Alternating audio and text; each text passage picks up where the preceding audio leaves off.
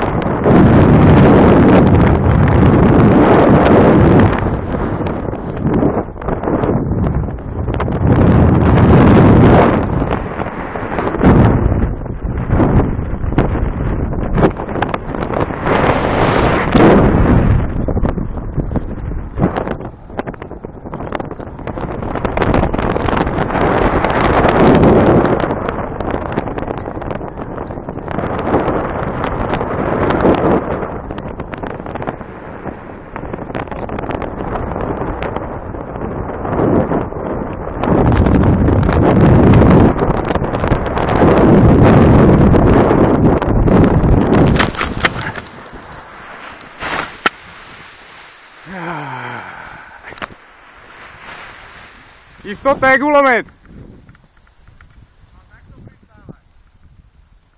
Jaj, prečo? Hm?